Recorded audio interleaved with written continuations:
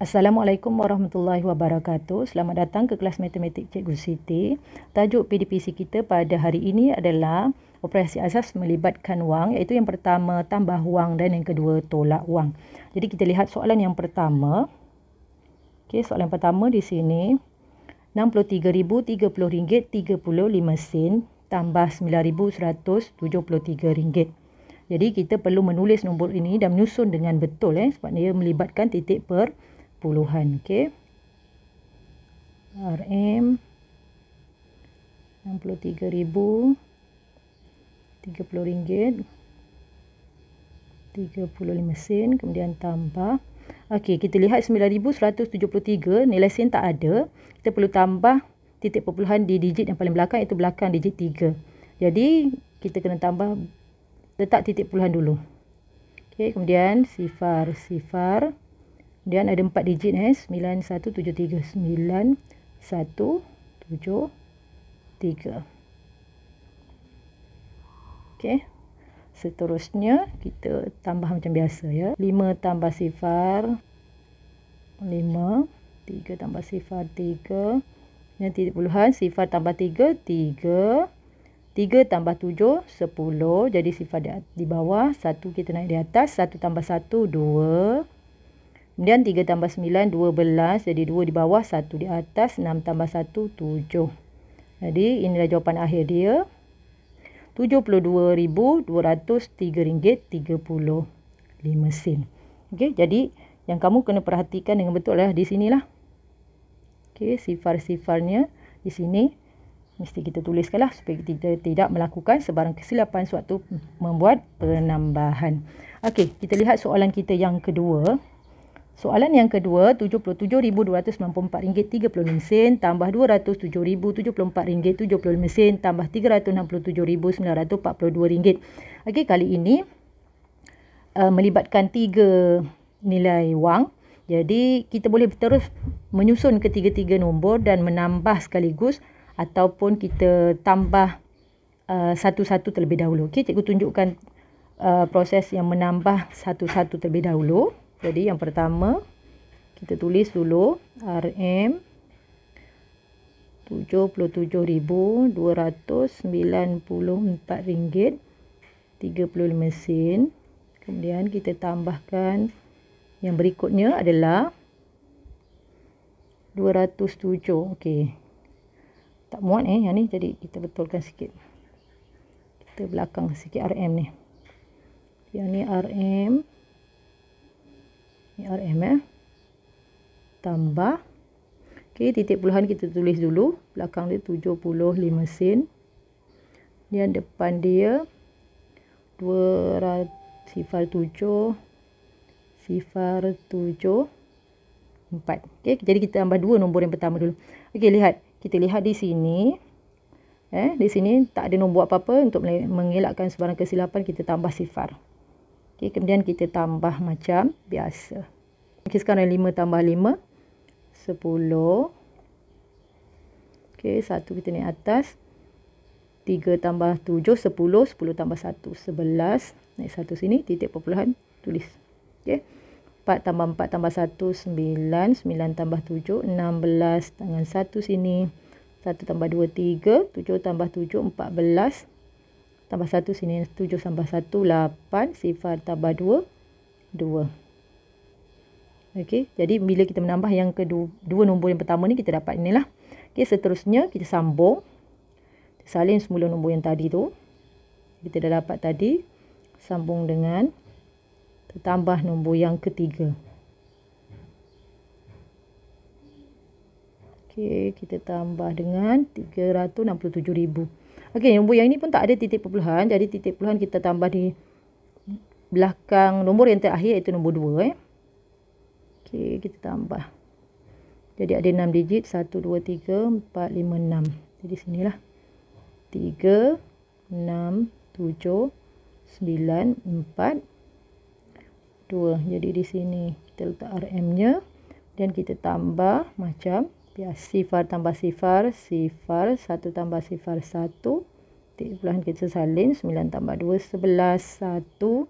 6 tambah 4 tambah 1, 11. 1, 9 tambah 1, 10 tambah 3, 13.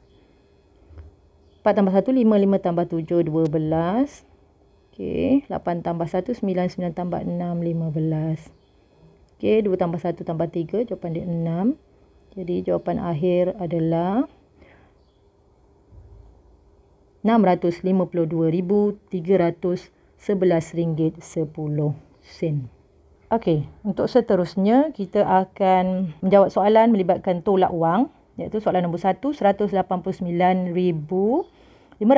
ringgit ditolak dengan ada sibuk tolak tertinggal eh. Ditolak dengan RM75,938 ringgit 50 sen. Eh. Jadi seperti tadi kita tulis dan susun nombor dengan betul. KRM 189,580. Okey, titik perpuluhan tak ada iaitu nilai sen ni tak ada. Jadi kita tambah di belakang nombor yang terakhir titik perpuluhan sifar sifar eh. Kemudian tolak nombor berikutnya Ni titik puluhan ada eh. Okey, 50 sen nilai sennya. Kemudian ada berapa digit? 5 digit eh. 1, 2, 3, 4, 5 digit. Kita susun sajalah. 5 digit bermula di sini lah.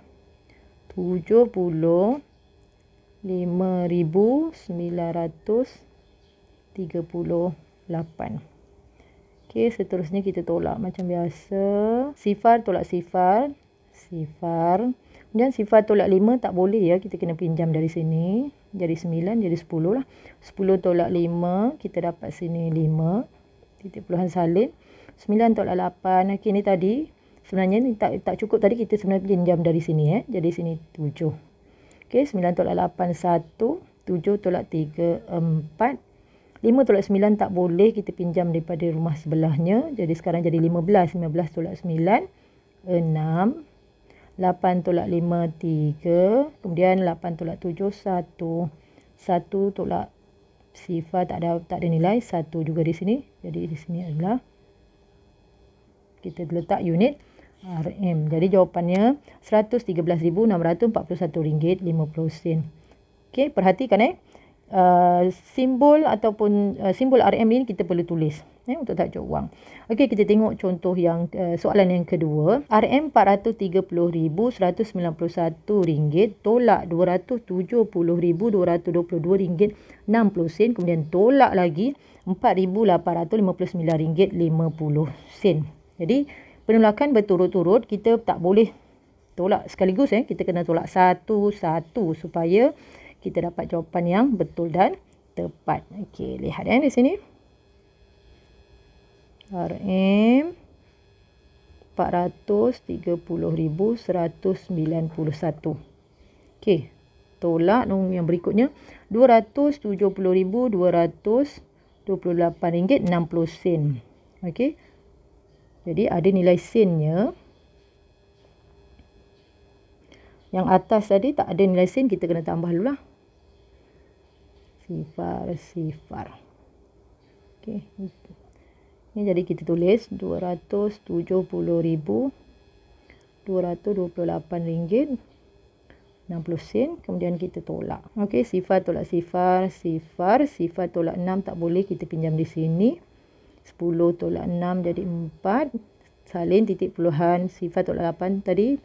Sebenarnya tak boleh. Kita dia sebenarnya pinjam dari sebelah sini. Jadi bila dah pinjam. Yang ini kita jadi 10 lah. 10 tolak 8 2. Kemudian 8 tolak 2, 6. Sekali lagi, 1 tolak 2 tak boleh kita pinjam dari sini. Ini jadi 9. Yang ini kita pinjam dari sebelah sini. Okey, jadi 11. 11 tolak 2, 9. 9 tolak sifar, 9. Okey, 2 tolak 7 tak boleh kita pinjam dari sini. Jadi 12 tolak 7, 5. 3 tolak 2, 1. Okey. Kita seterusnya kita perlu tolak dengan nombor yang seterusnya salin balik nombor tadi. Nombor kita dapat ni. Pastikan salin dengan betul ya. Kemudian kita tolakkan nombor yang seterusnya. 4859 kita tulis titik perpuluhan dulu. Tulis nilai sennya kemudian 4859 4 digit eh. Jadi bermula dari sinilah. 4 8 5 9 okey. Pentolak. Sifar tolak sifar sifar. 4 tolak 5 tak boleh kita pinjam sini jadi 14 okey. 14 tolak 5 sini adalah 9 1 tolak 9 tak boleh kita pinjam dari sini jadi 11 11 tolak 9 2 5 tolak 5 sifar. 9 tolak 8 1 9 tolak 4 5 kemudian 5 1 jadi jawapan akhir kita dapat RM155,102.90 sen